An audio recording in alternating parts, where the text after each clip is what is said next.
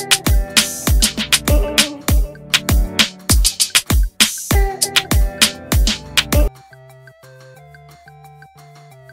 วต่อไปล่าบัญชีมาเครือข่ายเว็บพนันออนไลน์แยมทมนพันกองปราบปรามเร่งล่าตัว 5 ผู้ต้องหารับเปิดบัญชีมาให้เครือข่ายพนันออนไลน์แยมทมนพันกับสามีเจ้าของเว็บพนันเว็บโป้วันที่ 17 ธันวาคม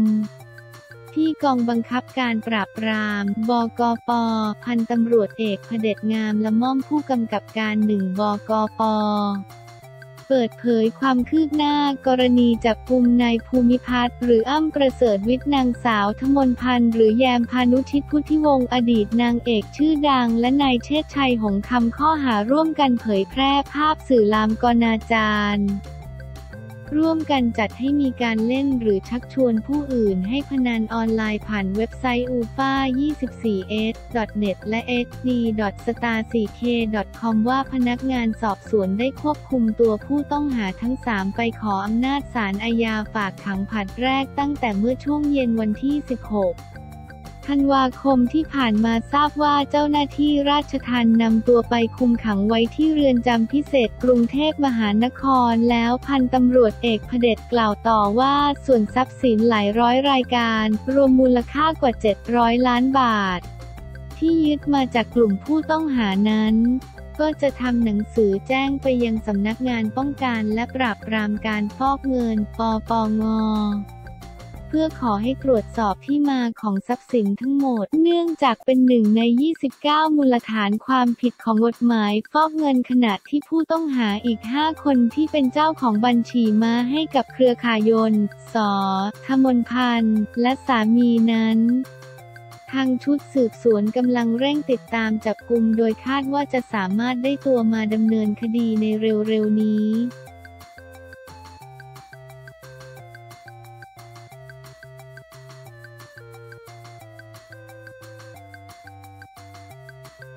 ปีติภาพประทับใจเจ้าฟ้าพัชรกิติยาภาเจ้าฟ้าสิริวัณวรี เจ้าฟ้าทีปังกรฉายพระรูปร่วมกันปีติภาพประทับใจเจ้าฟ้าพัชรกิติยาภาเจ้าฟ้าสิริวัณวรี เจ้าฟ้าทีปังกรฉายพระรูปร่วมกันในการพระราชพิธีสงกรานต์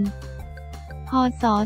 2565 ณ วัดพระศรีรัตนศาสดาราม พระบรมมหาราชวัง เมื่อวันที่ 15 เมษายน 65 ผู้สื่อข่าวรายงานว่าเพจ Facebook HRS Princess สิริวัณนาวารีนารีราตานาราชกัญญาโพสต์พระรูปและข้อความว่าวันที่ 15 เมษายน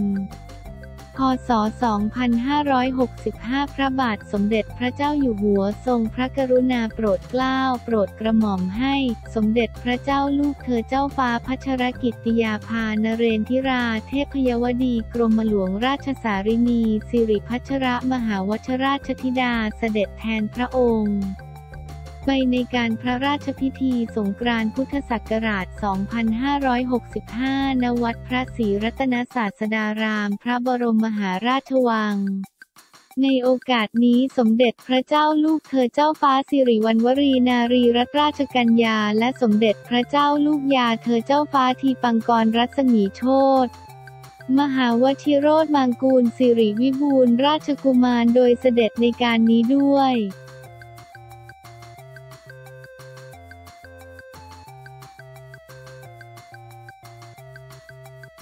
ราชกิจจาประกาศสำนักนายกรัฐมนตรี พระราชทาน พระบรมราชานุญาตถอดยอสอตอรอทหาร 13 นาย เว็บไซต์ราชกิจจานุเบกษาวันที่ 16 ธันวาคม 65 เผยแพร่ประกาศสำนักนายกรัฐมนตรี เรื่องพระราชทานพระบรมราชานุญาตให้ถอดยศตำรวจและเรียกคืนเครื่องราชอิสริยาภรณ์ 11 นาย และทหาร 2 นายเมื่อวันที่ 16 ธันวาคม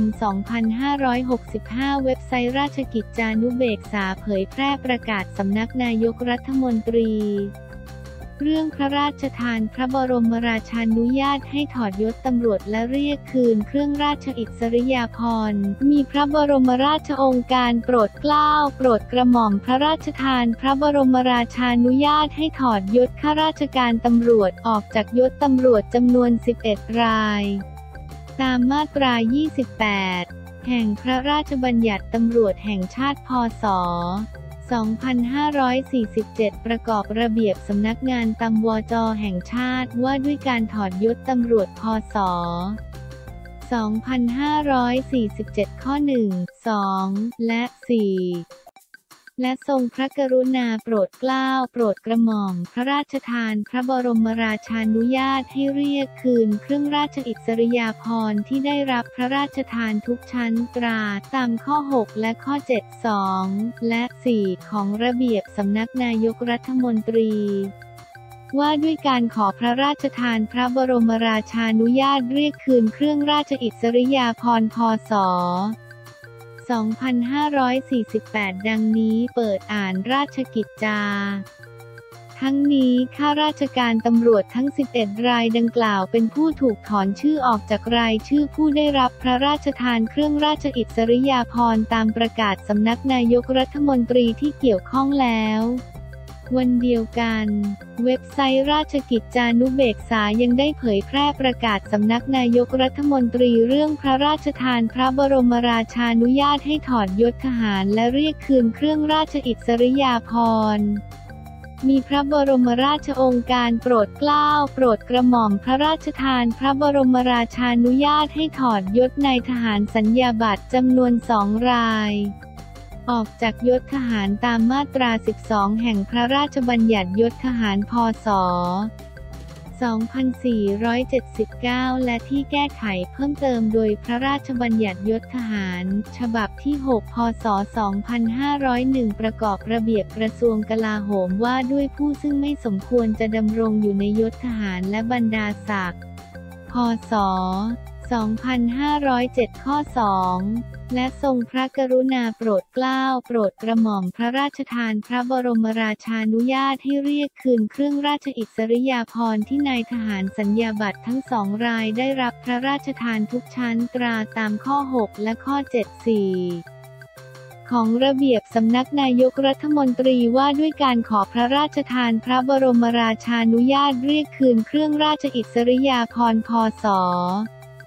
2548 ดังนี้ เปิดอ่านราชกิจจา ทั้งสองรายดังกล่าวเป็นผู้ถูกถอนชื่อออกจากรายชื่อผู้ได้รับพระราชทาน เครื่องราชอิสริยาภรณ์ตามประกาศสำนักนายกรัฐมนตรีที่เกี่ยวข้องแล้ว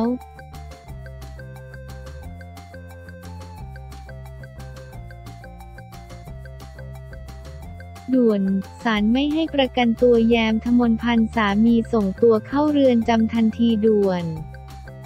ศาลไม่ให้ประกันตัวอดีตนางเอกแยมทมนพันธ์สามีส่งตัวเข้าเรือนจำทันทีพนักงานสอบสวนขอคัดค้านประกันเกรงผู้ต้องหาจะหลบหนีเนื่องอัตราโทษสูงหลังจากพลตำรวจโทจิรภพภูริเดชผู้บัญชาการก นำกำลังตำรวจทลายเครือข่ายเว็บไซต์พนันออนไลน์เว็บไซต์ที่เผยแพร่ภาพยนตร์การถ่ายทอดสดการแข่งขันฟุตบอลละเมิดลิขสิทธิ์ และภาพยนตร์ที่มีเนื้อหาลามกนาจารโดยจับกุมแยมธมนพันธ์พานุชิตพุทธิวงศ์อายุ 40 ปี พร้อมสามีข้อหาร่วมกันเพื่อประสงค์แห่งการค้าทำให้แพร่หลายโดยประการใด ๆ ซึ่งรูปภาพภาพโฆษณารูปถ่ายภาพยนตร์หรือสิ่งอื่นใดอันลามกร่วมกันจัดให้มีการเล่นหรือทำอุบายล่อช่วยประกาศโฆษณาหรือชักชวนโดยทางตรงหรือทางอ้อมให้ผู้อื่นเข้าเล่นหรือเข้าพนันในการเล่นทางสื่ออิเล็กทรอนิกส์ และร่วมกันฟอกเงิน หลังเชื่อมโยงเว็บพนันและเว็บโป ตรวจยึดของกลางรถยนต์ 13 คันมูลค่ากว่า 200 ล้านบาท มีรถซูเปอร์คาร์ยี่ห้อดัง 6 คัน เช่น Lamborghini Ferrari McLaren Porsche Benz BMW รถกระบะ 1 คัน และรถจักรยานยนต์ 2 คันเงินสดไทยและสกุลเงินต่างประเทศประมาณ 42 ล้านบาท นาฬิกาหรูเช่น Richard Mille Patek Philippe Rolex ช้อปปิ้งโหมดโอเมก้าจำนวน 8 เรือน กระเป๋าแบรนด์เนมเช่น Air m e s Louis Vuitton จำนวน 50 ใบคอมพิวเตอร์ 5 เครื่องโทรศัพท์มือถือ 18 เครื่องสมุดบัญชีธนาคาร 44 เล่มบ้านพักหรูอีก 4 หลังรวมมูลค่ากว่า 700 ล้านบาท ล่าสุดช่วงเย็นวันที่ 16 ธันวาคม 65 พนักงานสอบสวนกิโลกรัม1บกปตัวนายภูมิพัฒน์หรืออ้ำประเสริฐวิทย์อายุ 42 ปีสทมนพันธ์หรือแยมพานุชิตพุทธิวงศ์อายุ 40 ปี และนายเชษชัยหงคำอายุ 38 ปีไปส่งสารอาญาเพื่อผัดฟ้องเบื้องต้นจากการสอบสวนผู้ต้องหาทั้งสาม ให้การปฏิเสธ พร้อมกันนี้นายภูมิพัฒน์และนางสาวธมนพันธ์หรือแยมยื่นขอประกันตัวส่วนนายเชษชัยไม่ได้ยื่นประกันตัว แต่พนักงานสอบสวนขอคัดค้านการประกันตัว เนื่องจากเกรงว่าผู้ต้องหาจะหลบหนีเนื่องอัตราโทษสูงโดยมีรายงานว่าศาลไม่อนุญาตให้ผู้ต้องหาได้รับการประกันตัว ก่อนจะส่งตัวให้เจ้าหน้าที่ราชทานรับตัวไปควบคุมไว้ในเรือนจำพิเศษกรุงเทพมหานครต่อไป